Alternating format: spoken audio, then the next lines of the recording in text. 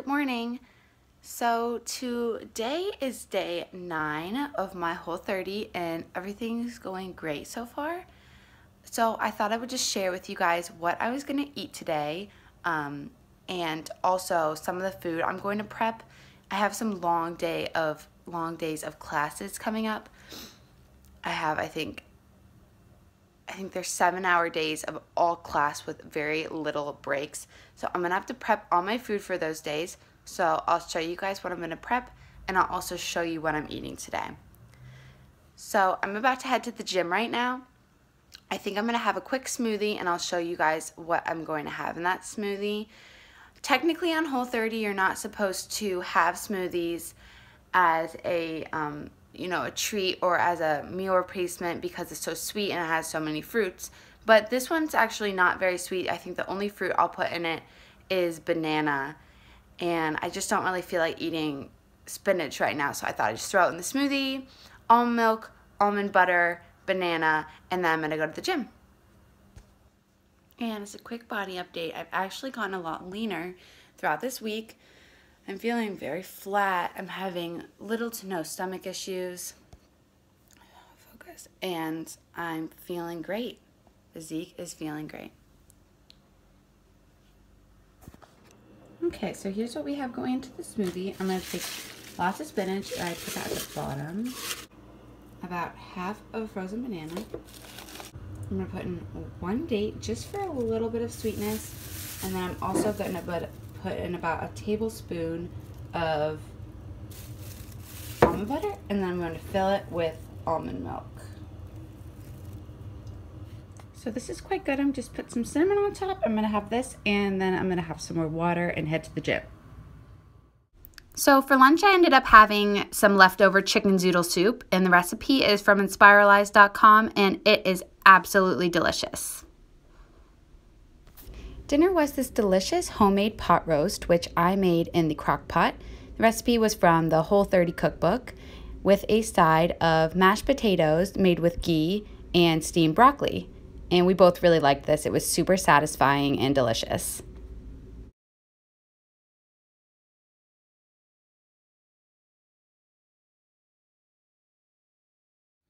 I wanted to give you guys kind of a lowdown on the kind of things that I bought at the grocery store in these these are all Whole 30 and they're all paleo as well. Um, so we have some canned salmon and canned tuna. We have some ground chicken, cucumber, mushrooms, almond butter, avocados, some green apples for snacks, and I put them in my sausage as well. Some butternut squash, um, eggs, lettuce, celery, and these are just a few ingredients that I got just to prepare some lunches and breakfasts for this week as I go to school. So let's see what I'm gonna make. First step I, here, I'm going to make some chicken breakfast sausages. And this is quite an interesting recipe. I don't know if it's for everyone, but it's definitely worth a try because I think it's really delicious and it's great just to heat up in the morning for a quick breakfast. So I have one green apple and I'm going to chop that and actually put it into the sausage. And I have some spices. I have cinnamon, salt. I have a little bit of pumpkin pie spice and pepper. And if you, it's not really a sweet sausage. It does have the um, cinnamon taste. So again, if you like cinnamon, then you'll probably like this breakfast sausage. So let's see how we do this. So I've gone ahead and small dice the apple and I'm gonna add it into the sausage. It's just plain ground chicken. It's actually not sausage. And I'm going to start adding some seasonings. So, like I said, I'm going to use some cinnamon. Just however much you like. I probably use about a teaspoon of each seasoning.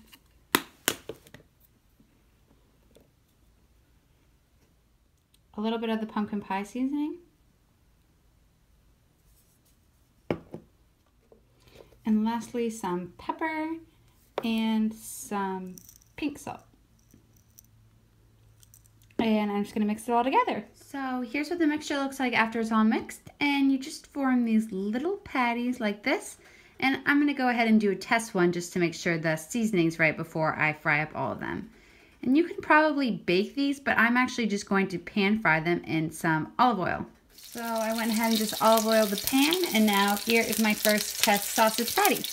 So my next part of prep was just a big salad, which I'm gonna portion out for lunches. And it's just romaine, cucumber, and onion. And on the day that I'm gonna eat the salad, I'm gonna top it with avocado. I'm gonna top it with some olives and some either canned tuna or canned salmon and red wine vinegar, salt and pepper, and it's gonna be a little bit of like a Greek salad.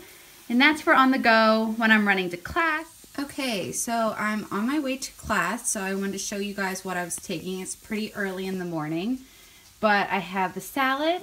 Here I have the um, avocado and the canned salmon and the olives, which I just dressed with some lemon juice. I have an orange. I have a vinaigrette with oregano, garlic, salt, red wine vinegar, and olive oil. And then I have an RX bar just in case I get hungry. And I have some espresso there. And I'm ready to go to class. Okay, so just a quick wrap up to this video. I hope you really enjoyed it. And please let me know anything that you'd like to see or what you think about my videos. That would be great. I hope you found some inspiration and you found it helpful. Thanks again for watching. Please like and subscribe. I have a new video coming up really soon, so if you guys would like to see that, go ahead and subscribe to me so you can get a notification when my new video comes out. Thanks, guys.